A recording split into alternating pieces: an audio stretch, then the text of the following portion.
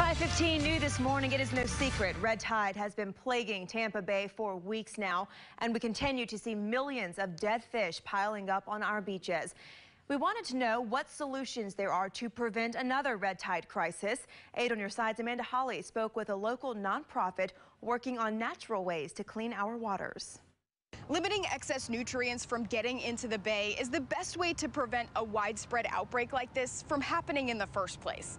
Luckily, Mother Nature has a backup plan. What we're looking to do here on the west coast of Florida is really implement a lot of oyster restoration and mangrove restoration techniques. Oyster beds and mangrove roots are natural water treatment plants. Shelby Thomas with the Ocean Rescue Alliance is working to filter our waters both before and during a bloom, just like the one we're seeing now.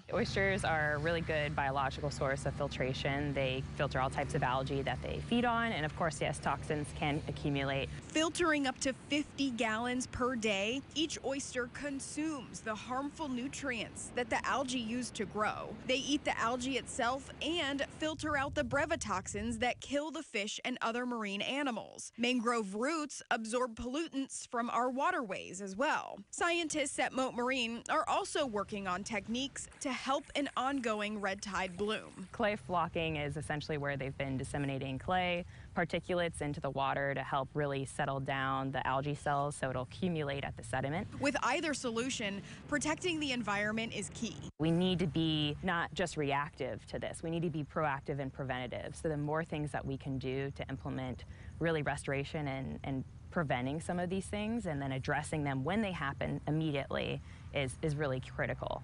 Again, a single oyster can filter up to 50 gallons of water per day, making them a vital part of keeping our Tampa Bay waters clean. The Ocean Rescue Alliance has approval from the FWC and Army Corps of Engineers to start planting structures for oyster colonies in Hernando County. They plan to seek approval for both Hillsborough and Pinellas as well. Amanda Holly, 8 on your side.